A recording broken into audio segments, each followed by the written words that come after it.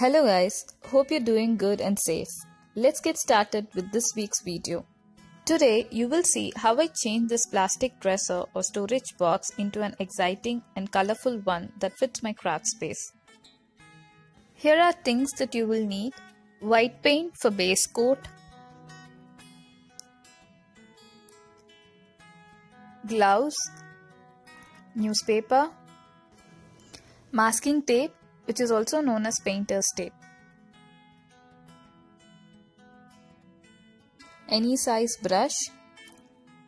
The main element of today's project is chalk paint and metallic wax.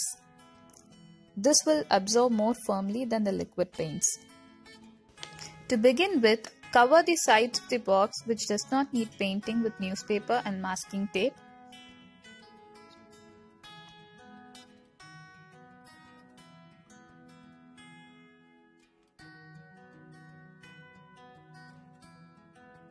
Now for the base coating, start applying the white paint. Spray paints are easier and convenient to apply. Ensure you cover all the sides completely. Repeat the same process for the entire storage box. Allow the paint to dry for 24 hours. Mix the chalk paint well until you get a smooth consistency. Convert the paint onto a tray instead of directly taking it from the paint box. This will help the brush to hold only the required amount of paint for easy application. Always remember these points while you paint. Number 1. Use one direction only, vertical or horizontal. With the fixed direction, move forward and backward continuously. Number 3. For sides and corners, you can simply slide the brush through. And number 4. Continue to repeat the same painting direction even on design portions like this.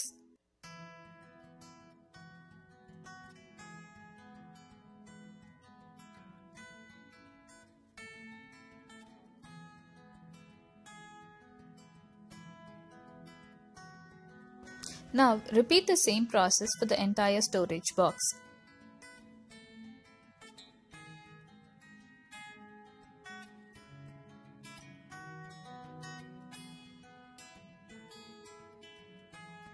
You can try this method if you want a smudge finish of the paint. This is an advantage of using chalk paint.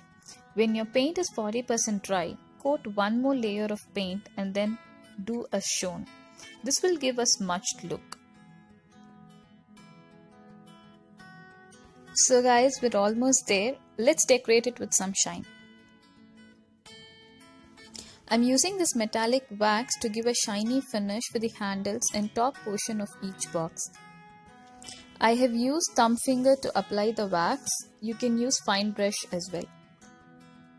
Metallic wax are often used in metal surfaces, but I just wanted to give it a try. Well, it worked for me. Finally, check for any unfinished space and fill them to have a complete look. Most importantly, the drying time for chalk paints. It dries very quickly. For me, it took 1 to 2 hours to dry completely, which is in fact long, but it entirely depends upon the weather condition you are actually drying it and the thickness of the paint you have applied. Here is my final output. I hope you guys enjoyed watching this colorful makeover.